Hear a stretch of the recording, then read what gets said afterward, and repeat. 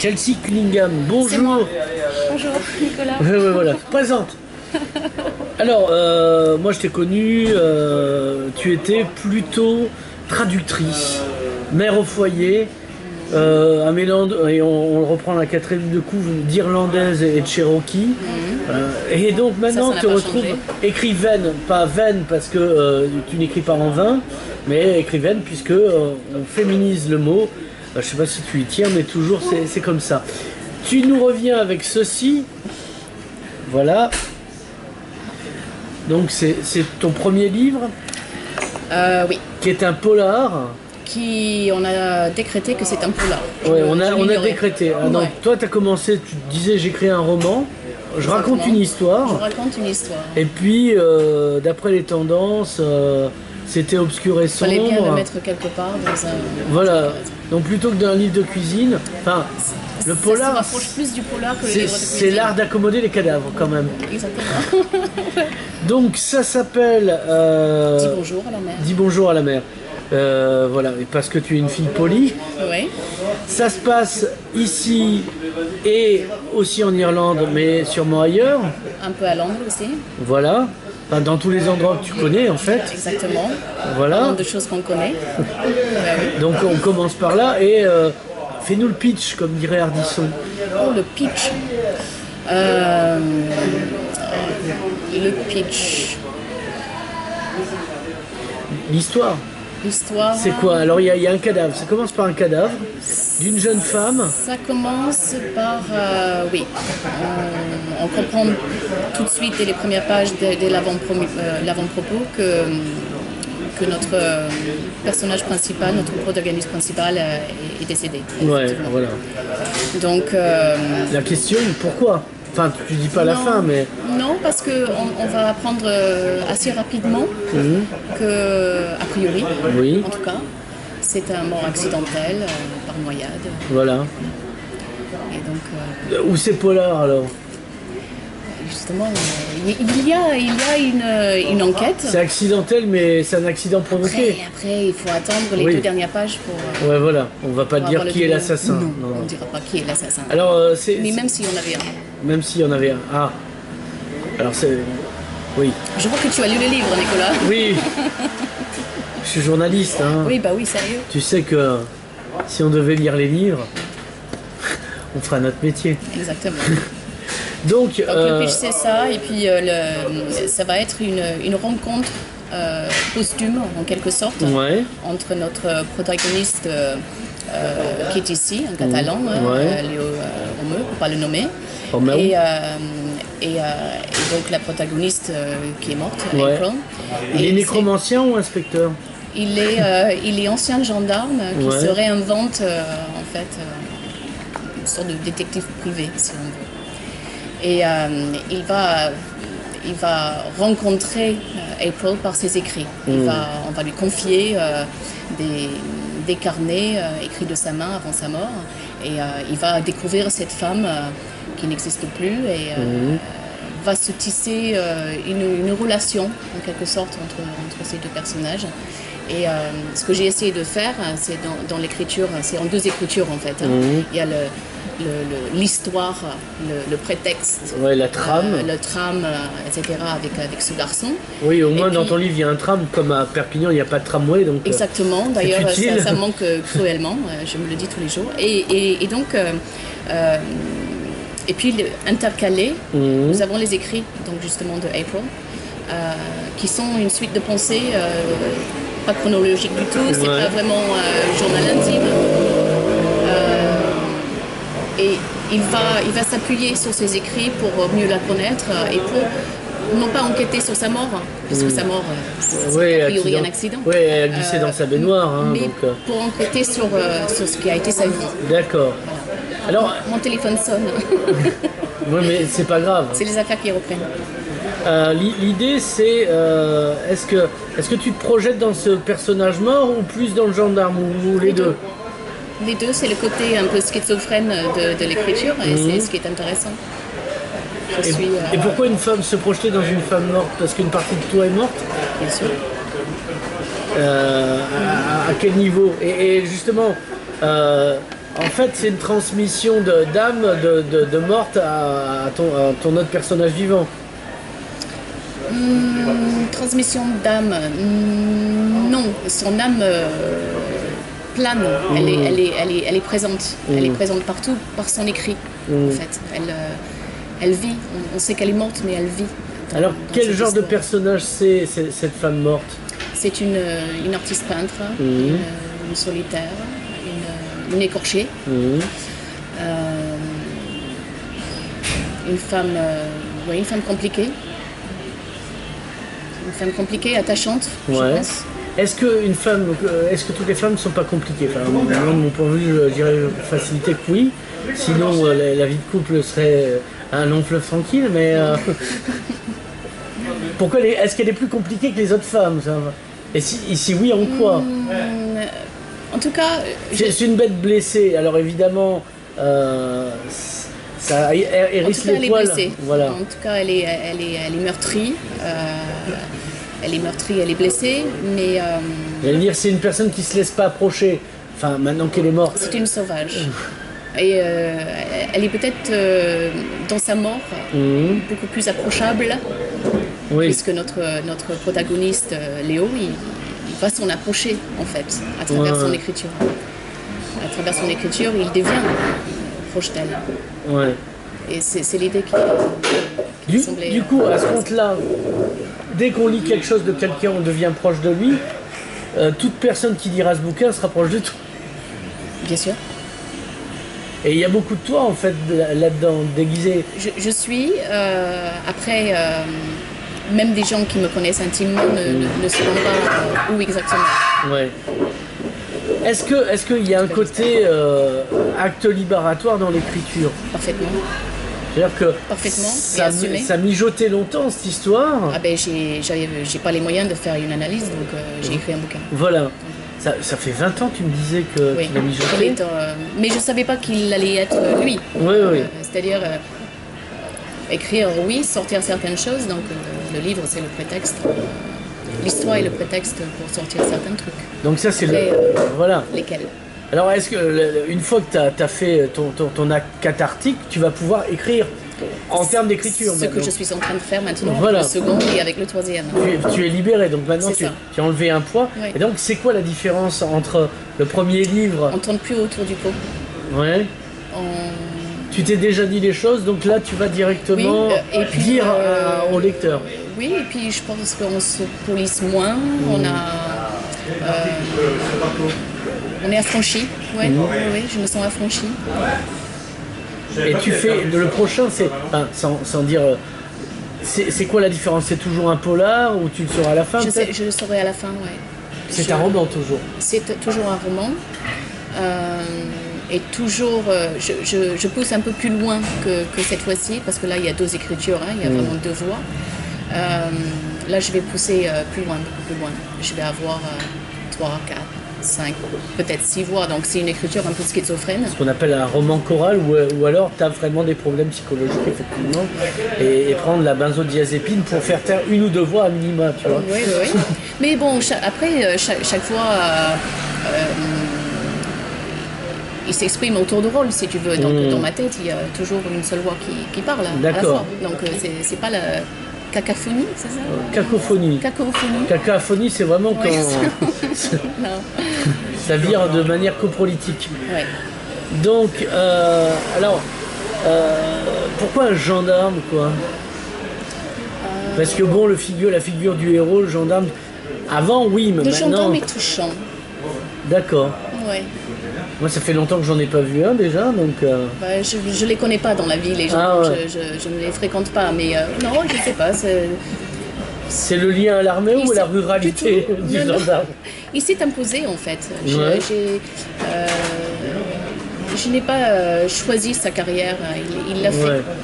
Il Parce que je ça, aurait pu être un marchand des quatre saisons, Louis la brocante, Bien tu vois?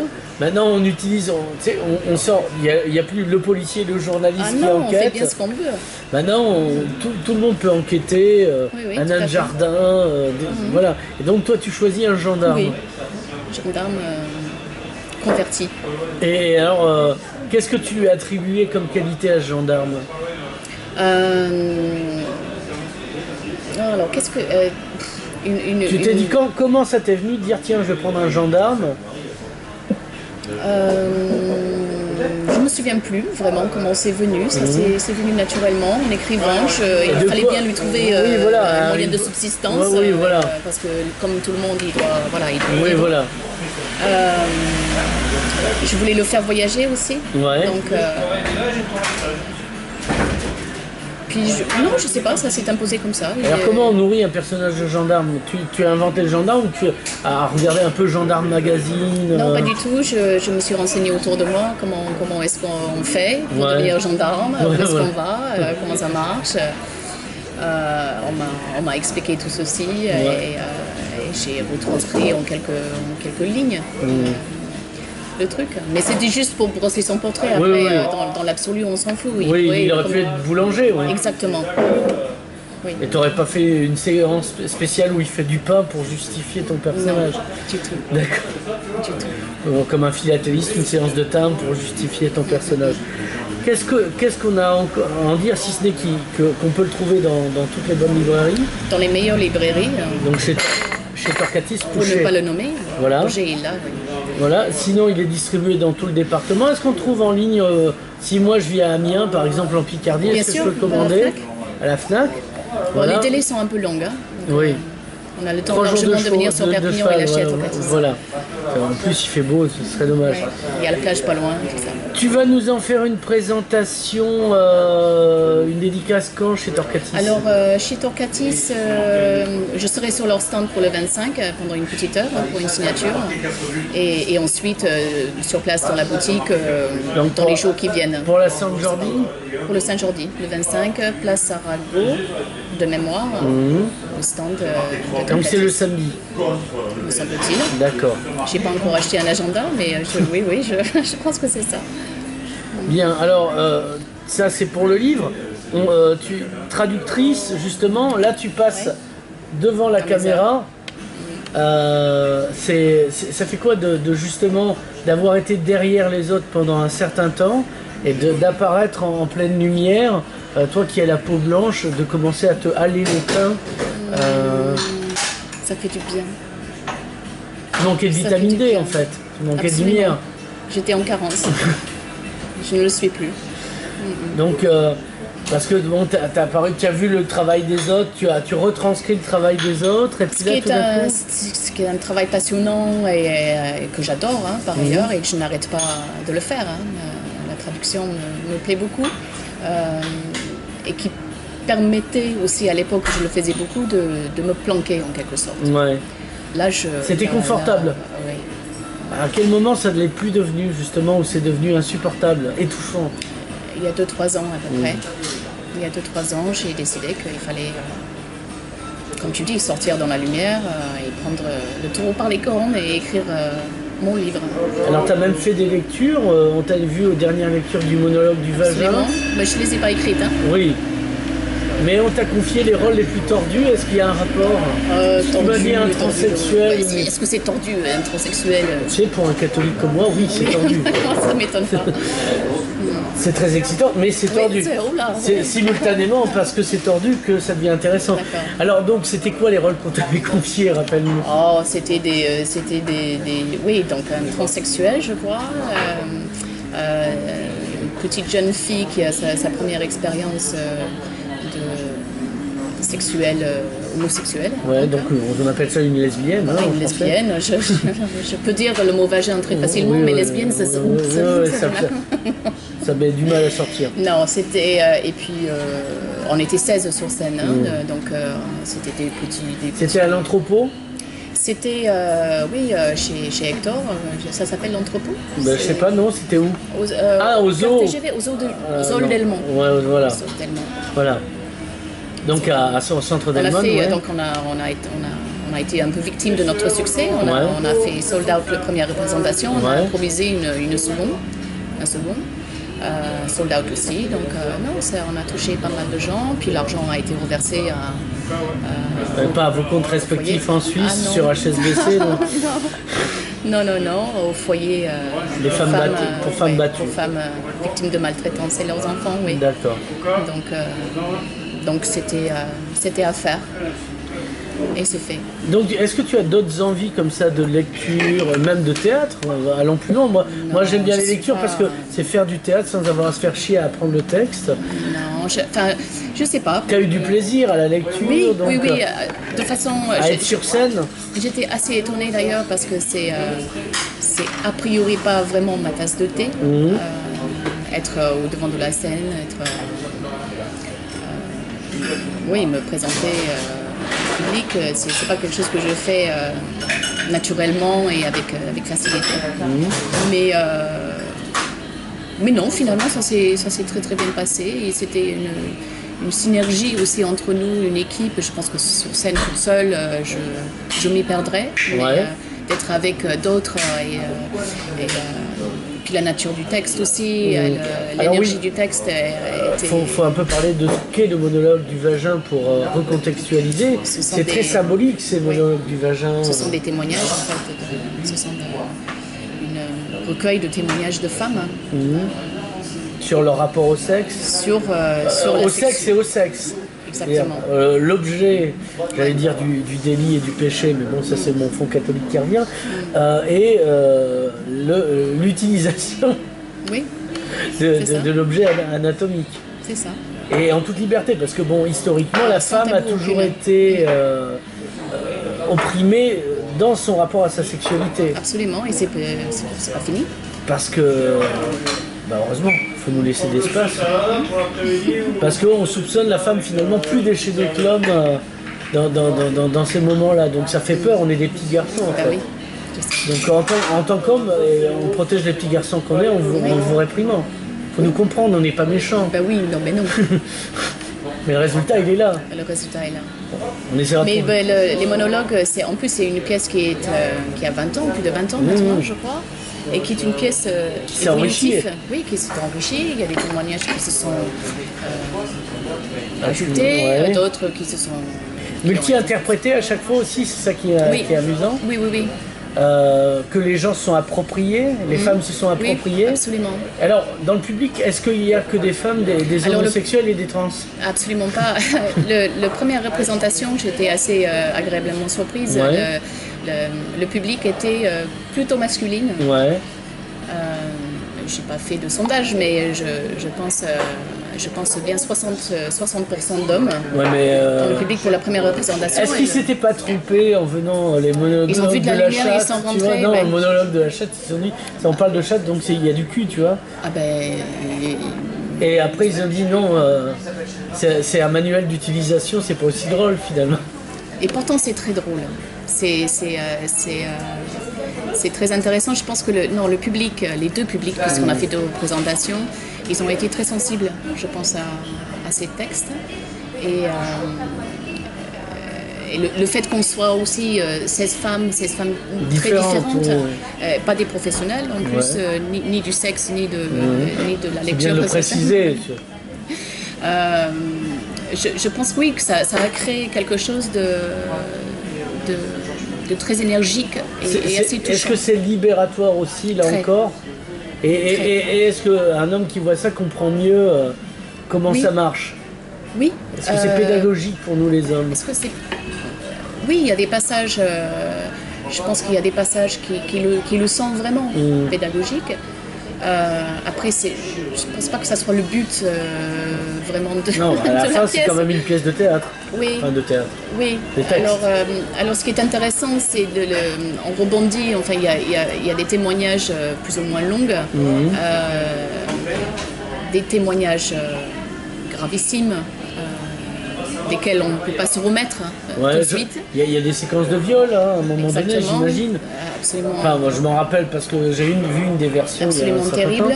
Euh, et d'autres, euh, d'autres qui De sont plaisir pur, de quoi. plaisir pur, euh, de très léger, de très touchant. euh, il y a tout le panel, il y a toutes les Est-ce qu'il couleurs. faudrait pas montrer ça à partir de la troisième aux garçons et aux filles en fait aussi? Aux filles surtout, peut-être. Ouais. Surtout, leur, leur montrer qu'il est permis de, d'en du parler et d'avoir du plaisir et de, et de- d'être, fière et d'être d'être- bien. d'être heureuse, et, et d'être heureuse. Bah oui. de- de- d'apprivoiser son corps, parce que c'est un peu ça. Quoi. Parce que quand on voit la structure mentale de, de la société, euh, la femme est toujours euh, ou, ou un outil, ou euh, en même temps, comme dirait mon père, quand t'as le pouvoir, garde-le. quoi. Fallait- faut mieux se battre si vous voulez nous l'arracher. Hein. On En anglais, on, dit- on a une expression aussi. On dit The hand that rocks the cradle rules the world. Que c'est la main qui berce, Ouais. qui gère le monde. C'est plutôt féminin pour le coup. Oui, plutôt. Parce que là, ça sent. En général, c'est nous, oui, qui Ouais. berçons le. Moi j'ai bercé quelqu'un mais c'était près Non, du mur et ça n'avait rien de tendre chez moi quoi. Mais bon, on reparlera de mes accès de violence un autre jour. Oui. Qu'est-ce que on n'a pas dit qu'on devrait dire à propos de toi, du livre, de tes envies futures? Euh, ben, je veux Dans faire. quoi on va te retrouver? Ben, Dans ça. Dans l'écriture, si, je, si, si je peux, je ne ferai plus que ça. D'accord. Voilà, plus que ça. Euh, Et la scène? Tu as goûté, t'as pas envie d'y retourner? Si, si ça se présente, je dirais peut-être pas nom d'office, mais euh, c'est. euh, Ouais, non, c'est l'écriture, moi. C'est être seul chez moi, euh, devant la page Enfin. Encore un travail solitaire Oui. qu'on finit par montrer, mais d'abord on, Oui, oui, on se retrouve soi-même. euh, et ça, c'est. euh, c'est- c'est jouissif, c'est. Maintenant que tu t'es retrouvé, tu as envie de continuer à pas te perdre. c'est ça. Je ne me perdrai plus. Chelsea Cunningham, merci. Merci à toi.